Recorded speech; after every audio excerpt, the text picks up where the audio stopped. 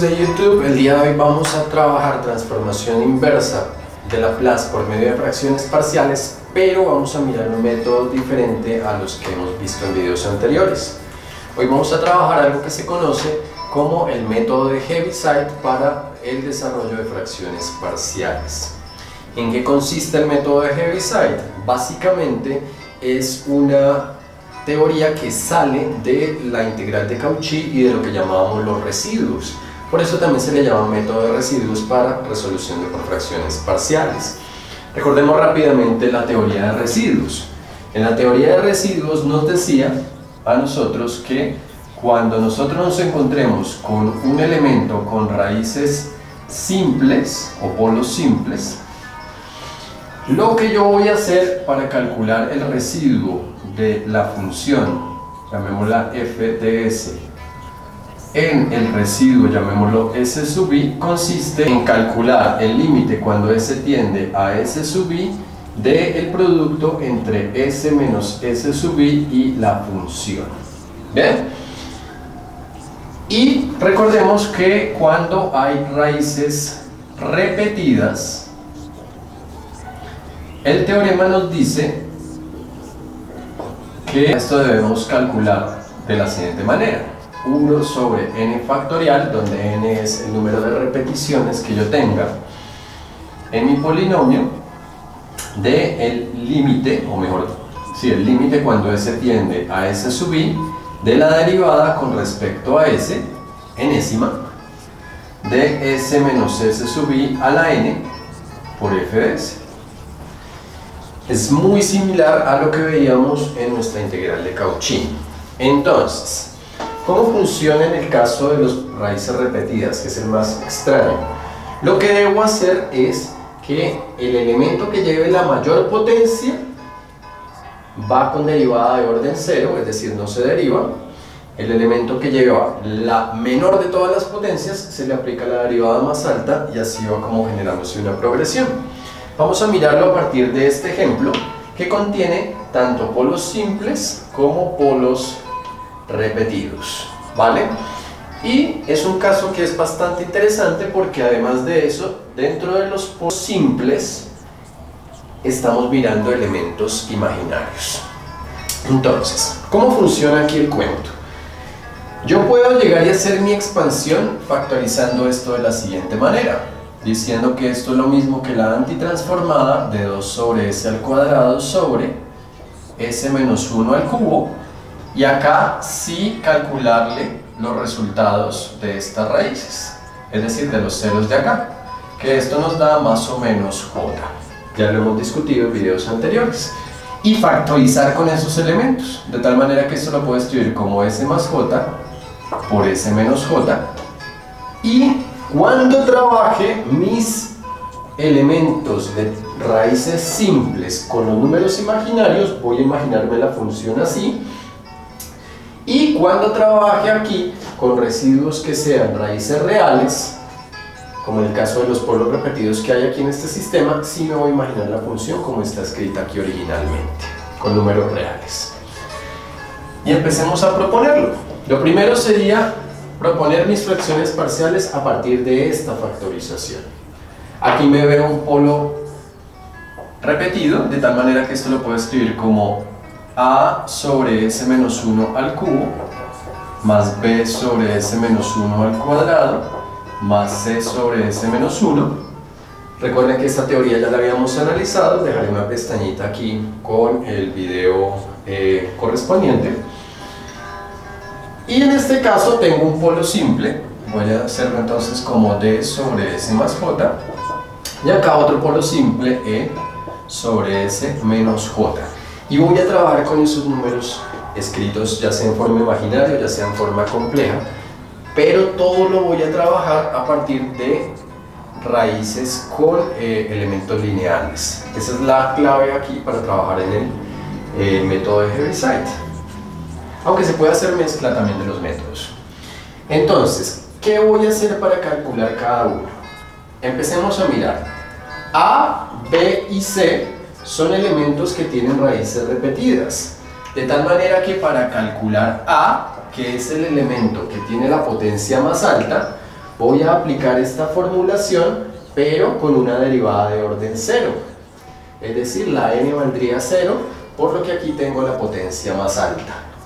De tal manera que esto me quedaría 1 sobre 0 factorial por el límite cuando s tiende a 1.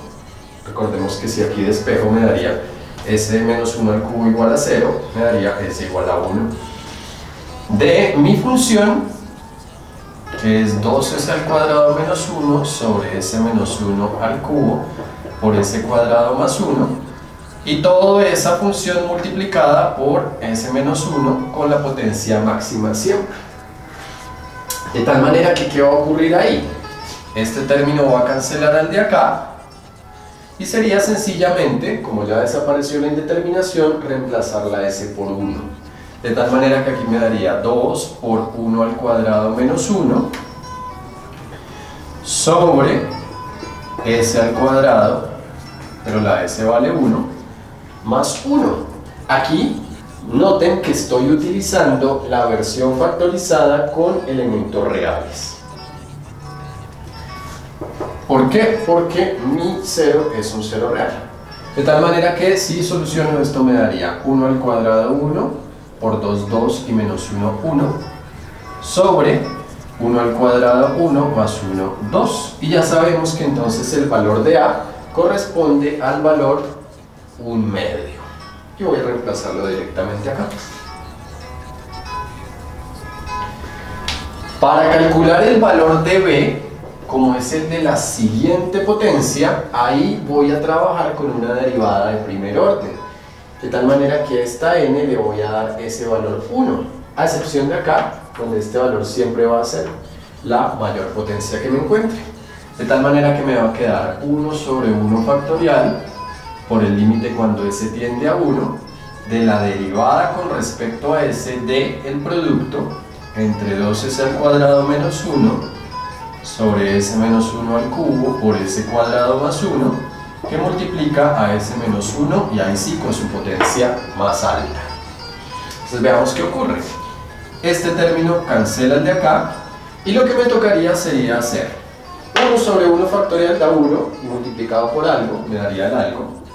Entonces es calcular el límite cuando s tiende a 1 de la derivada de la función que me quedó acá. Entonces voy a calcular mi derivada. Es una derivada de cocientes muy sencillita.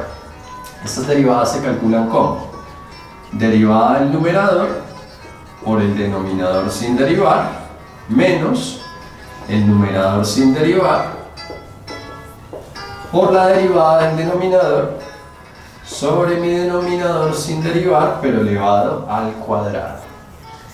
Y veamos, la derivada del numerador sería 4s menos 0 que es 4s, la derivada del denominador sería 2s más 0, que es 2s. Y como ya terminé de derivar, ahora sí voy a aplicar el límite. Voy a reemplazar todas esas s que me encuentre por el número 1. De tal manera que aquí me daría 4 que multiplica s, factor de s cuadrado más 1, menos 2 por s cuadrado menos 1 por 2 por s, sobre s cuadrado más 1 al cuadrado, pero todas las s valen 1. Y eso me daría 4 por 1, 4, factor de 1 al cuadrado, 1 más 1, 2, menos 1 al cuadrado, 1 por 2, 2 menos 1, 1, que multiplica a 2 por 1, que es 2, y sobre 1 al cuadrado, 1 más 1, 2, pero al cuadrado 4. Eso nos daría 4 por 2, 8, menos 2 sobre 4, y eso nos daría 6 cuartos, que equivale a 3 medios. Y por lo tanto ya encontré el valor de B. B equivale a 3 medios. Procederé ahora a calcular el valor de C. ¿Qué va a cambiar aquí con respecto al anterior? Que aquí ya no voy a hablar de 1 sobre 1 factorial, sino voy a aumentar 1 sobre 2 factorial, en la progresión que les decía. Por eso recomiendo agrupar siempre desde mayor potencia a menor potencia para ir recordando cómo va la progresión. 0 factorial, 1 factorial, 2 factorial.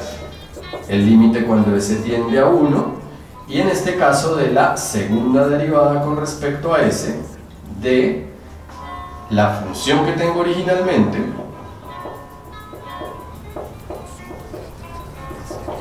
multiplicada por mi elemento con mayor potencia de los que estoy calculando aquí repetidos.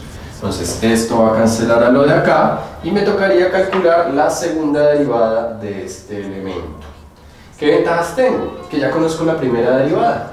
Entonces lo que voy a hacer es escribir esto como 1 sobre 2 factorial, que es 1 sobre 2, por el límite cuando s tiende a 1, de la derivada con respecto a ese d. Y aquí, antes de continuar, voy a hacer resolución de esto para que me quede más sencillo el trabajo. Esa sería la sugerencia. Entonces veamos. Eso me daría 4s por s cuadrado da 4s al cubo. 4s por más 1 da 4s. Menos por más, menos 2s cuadrado por 2s daría 4s al cubo. Menos por menos más 1 por 2s que es 2s y sobre s cuadrado más 1 al cuadrado. Si yo resuelvo esto, veo que 4s al cubo menos 4s al cubo da 0 y 4s más 2s da 6s. De tal manera que voy a trabajar de esa manera. Voy a poner un 6s. Y lo que voy a hacer es proceder a calcular esa derivada. Entonces sabemos que c sería 1 sobre 2 por el límite cuando s tiende a 1 de. Y de nuevo derivada de cocientes derivada del numerador por el denominador sin derivar, incluyendo esa potencia, menos el numerador sin derivar por la derivada del denominador sobre mi denominador sin derivar, pero elevado al cuadrado. Entonces veamos qué ocurre. La derivada del numerador sería 6. La derivada del denominador, aplico regla de la cadena, eso nos daría 2 factor de s cuadrado más 1 y por la derivada interna de esto que es 2s. Y aquí puedo hacer lo siguiente.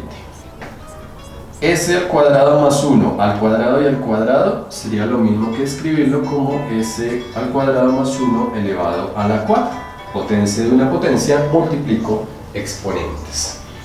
Acá veo un factor común que de hecho podría cancelar con algo de acá. Entonces digo, 1 de acá cancela a 1 de acá, esto me quedaría con potencia 1 y cancela a 1 de acá que me quedaría con potencia 3. De tal manera que todo esto sería igual a 1 sobre 2 por el límite cuando s tiende a 1 de 6 que multiplica s cuadrado más 1 menos 6 por 2, 12 y por 2, 24 y s por s, s al cuadrado y sobre s al cuadrado más 1 al cubo. Si quiero puedo resolver esto primero o de una vez puedo aplicar el límite ya que no hay indeterminaciones. Si aplico ese límite me daría lo siguiente. 6 factor de 1 al cuadrado más 1 menos 24 factor de 1 al cuadrado sobre 1 al cuadrado más 1 pero elevado al cubo. Y eso nos daría 1 más 1, 2 y por 6, 12 menos 1 por 24, 24 sobre 1 más 1, 2 y al cubo 8 de tal manera que esto nos daría 12 menos 24 que es menos 12 sobre 2 por 8 que es 16 y simplifico. Entonces veamos. Por ejemplo puedo sacar cuarta. Cuarta de 12 3 y cuarta de 16 4 y ya tengo el valor de nuestro elemento C que lo voy a reemplazar aquí menos 3 cuartos entonces noten que el caso por medio del cálculo eh, de los elementos que son eh, lineales repetidos por medio del método de Heaviside es mucho más fácil que, y mucho más corto que el trabajarlo con sistemas de ecuaciones lineales. aunque al fin y al cabo va a generar los mismos resultados. Ahora vamos a mirar lo que sería el trabajo con los elementos que tengan elementos complejos o en este caso imaginarios. Ponemos aquí y vamos a proceder a hacer el trabajo de residuos para calcular el valor de D y el valor de E. Entonces, para el valor de D, si yo igualo hasta 0, me encuentro con que S sería igual a menos J. De tal manera que por ahí arrancaríamos. Diríamos, como es un polo simple, porque no, no hay potencias externas, diríamos, esto lo calculo como el límite cuando S tiende a menos J del producto entre mi función, pero ahora la voy a escribir aquí con la factorización que teníamos con números complejos, multiplicada por S menos el elemento que genera la indeterminación, que sería este denominador S más J. Y veamos lo que ocurre. S más J elimina S más J y ya es cuestión entonces, como desapareció la indeterminación, de aplicar el valor del límite. Y eso nos generaría cambiar toda S que veamos por el número menos J. Entonces nos daría 2 factor de menos j al cuadrado menos 1 sobre, aquí me quedaría menos j menos 1 al cubo factor de menos j y menos j. Y ya todo viene a ser puro trabajo de álgebra con números complejos. Entonces resolvamos. Esto me daría, recordemos, potencias de j. j a la 1 es j, j a la 2 es menos 1. Si quieren escribirlo aquí a un ladito. Poquito espacio. J al cuadrado es menos 1, j al cubo, que también me va a aparecer por allá, es menos j. Y para este caso necesitaría más, si quisieran recordar las otras, j a la 4 sería 1 positivo, y de ahí en adelante j a la 5 es igual a j y se repite todo el resto de la tabla. Entonces veamos, aquí me quedaría menos j es lo mismo que menos 1 por j y como va al cuadrado todo esto nos daría menos 1 de tal manera que me queda menos 2 menos 1 sobre y aquí nos quedaría menos j menos 1 al cubo. Hay un binomio al cubo. ¿Qué puedo hacer en ese caso? Simplemente aplicar la distribución de ese elemento al cubo. Eso es, el primer número que yo tenga al cubo menos tres veces el primer elemento al cuadrado por el segundo más tres veces el primero por el segundo al cuadrado menos el último elemento al cubo. Y eso multiplicado por menos j menos j, que es menos j2. Entonces, hagamos aquí los cambios. Esto sería menos j al cubo, menos j al cuadrado por 1, menos j por 1 al cuadrado y 1 al cubo. El signo aquí, como era un menos, es el que me genera aquí que estos signos alternen.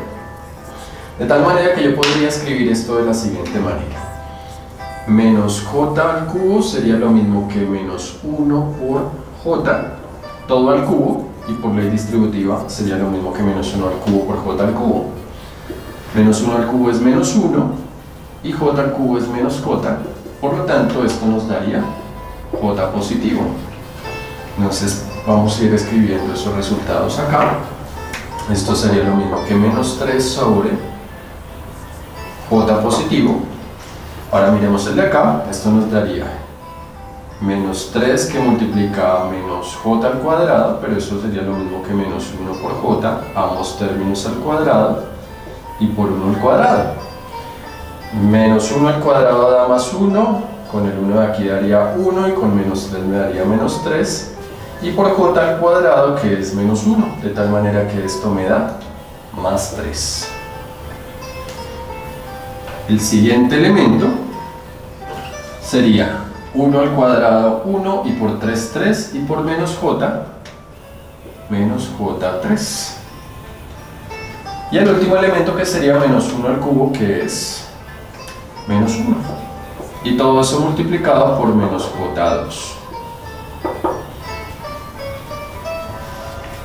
De tal manera que esto nos daría menos 3 sobre, y aquí nos daría J y menos J3 nos da menos J2 y 3 menos 1 nos va a dar más 2 y sobre, y perdón, por menos J2 de tal manera que yo podría aquí multiplicar distributivamente y me quedaría menos por menos más j por j, j al cuadrado que es menos 1 y 2 por 2, 4 y más por menos menos 2 por J2 que sería J4 y para hacer esta división de elementos recordemos que hay un criterio de división que nos dice que multipliquemos tanto numerador como denominador por la conjugada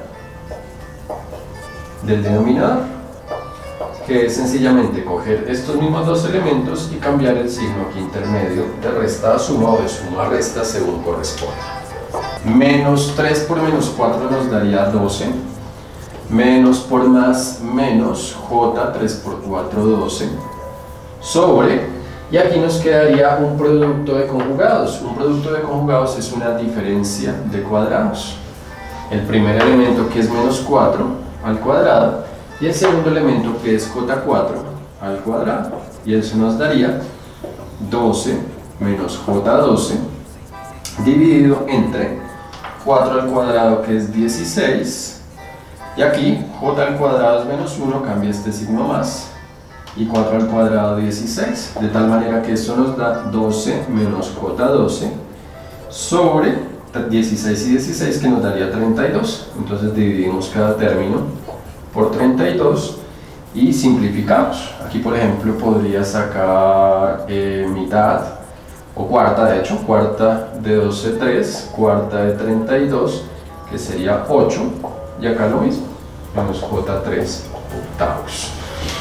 Y esto sería lo que reemplazaríamos acá en la parte del D.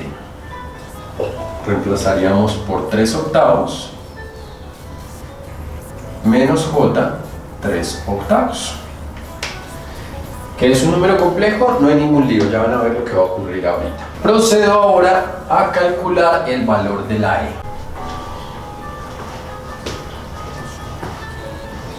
Eso nos daría j al cuadrado es menos 1 y por 2 menos 2 y menos 1 sobre.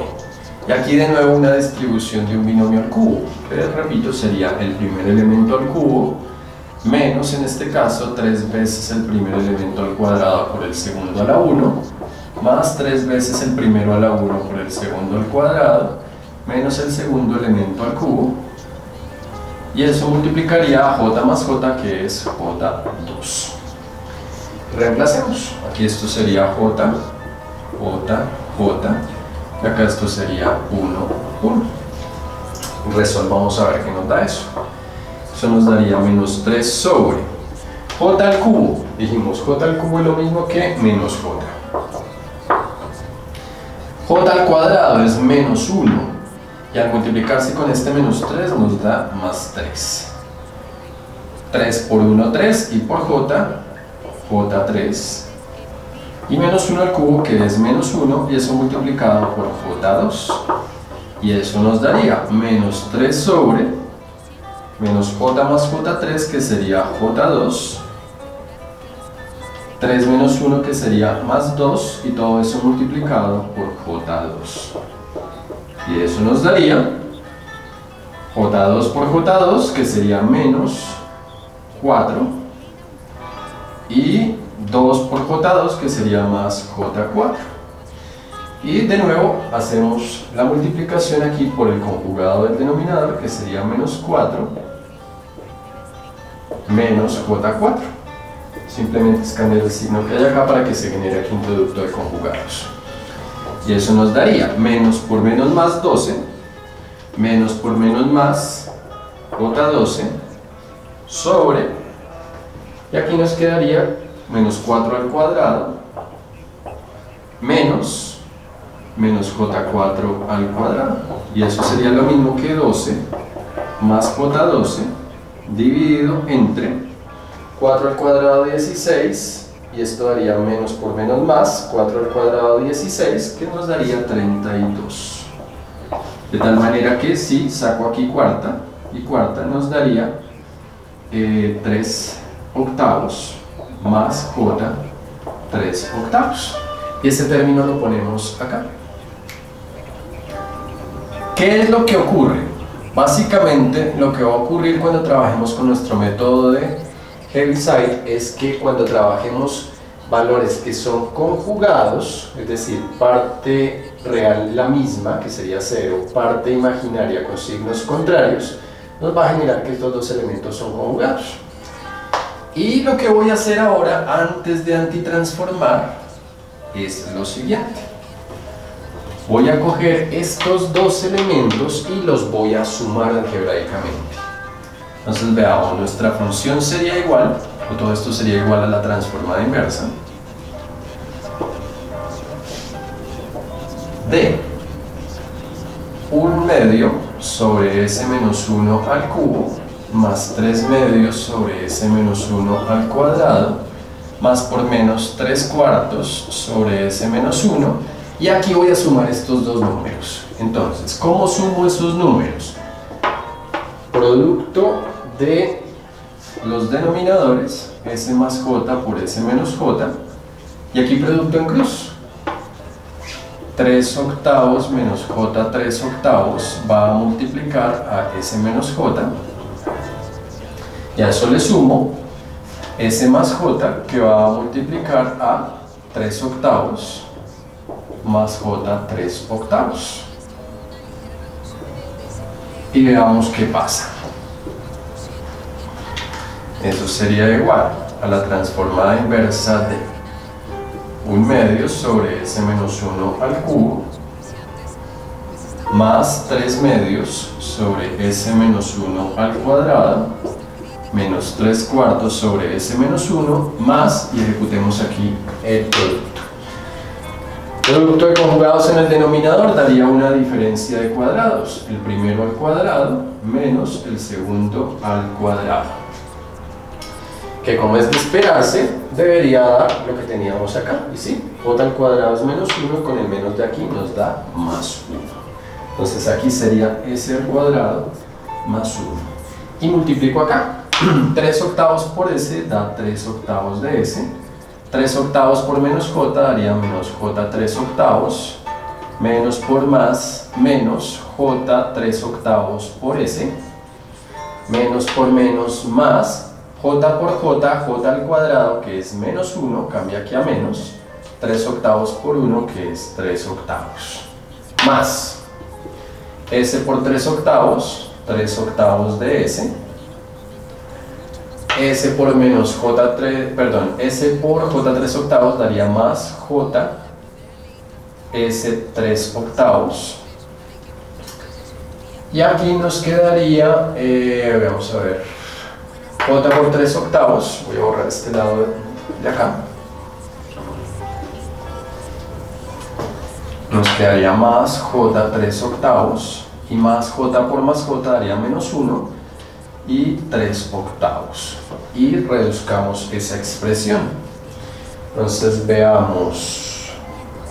Menos j 3 octavos de s más j 3 octavos de s sería 0 este menos j3 octavos con este j3 octavos se cancelaría y nos quedaría algo así.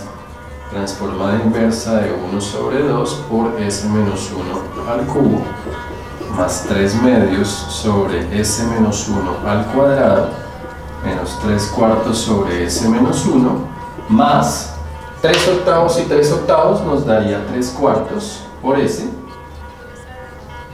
sobre s cuadrado más 1 y menos 3 octavos menos 3 octavos nos daría menos 3 cuartos sobre s al cuadrado más 1 y los voy a separar ambos lo que nos dio esta suma con lo que nos dio la otra para poder antitransformar directamente.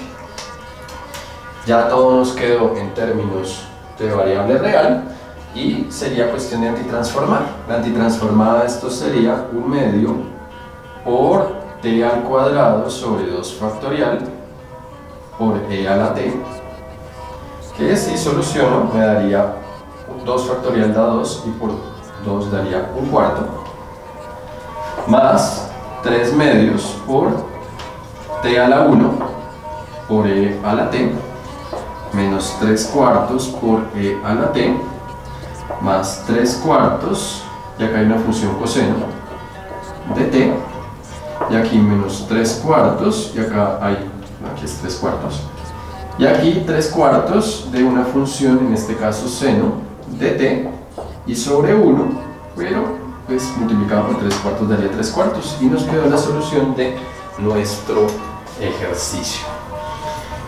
Conclusiones. Con el método de Heaviside es mucho más fácil trabajar dependiendo del tipo de función que yo tenga acá. Si yo veo polos repetidos y veo funciones que sean medianamente fáciles de derivar y veo que no hay una potencia demasiado alta, pues posiblemente sea el método más corto. Eh, igual va a simplificar porque ya no van a haber sistemas de ecuaciones lineales. Cuando vea aquí elementos que tienen raíces em, complejas o raíces imaginarias, es decir, factores cuadráticos irreducibles, sé que ese va a ser el trabajo más complicado, porque es un trabajo de álgebra compleja, que si yo manejo muy bien mis números complejos, pues no va a ser mayor problema, y que una opción para de pronto salvarse de eso podría ser hacer una mezcla entre los métodos. De pronto utilizar el método de Heaviside únicamente para las raíces reales y después hacer el trabajo algebraico con sistemas de ecuaciones lineales y valores arbitrarios para las raíces complejas que sería una muy buena posibilidad. Bien, me encantó compartir este método con ustedes, es seguramente el método más eficiente de trabajo de las fracciones parciales. Eh, no lo había discutido en videos anteriores porque requería de alguna manera tener eh, esa conciencia de, de dónde salen estas fórmulas de los residuos que salen de nuestra integral de Cauchy y, em, y pues por eso me lo traje hasta ahorita, hasta el final. Bien, les agradezco mucho por su atención. Si les es de agrado el contenido, me encantaría que me regalaran un me gusta en el video de YouTube que se suscribieran al canal si aún no lo están, que vienen cosas bien interesantes y que compartieran con, con sus amigos para aumentar nuestra comunidad del conocimiento. Chao gente.